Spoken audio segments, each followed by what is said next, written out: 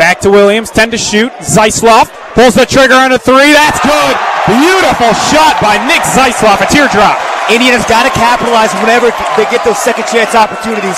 Great job there by the Hoosiers.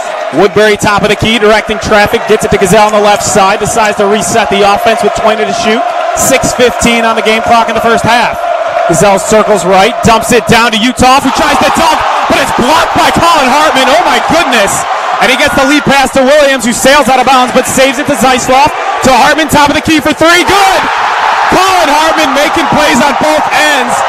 What a defensive stop by him. Point blank, blocked Jarrod Uthoff at the rim, and comes back the other way with the three.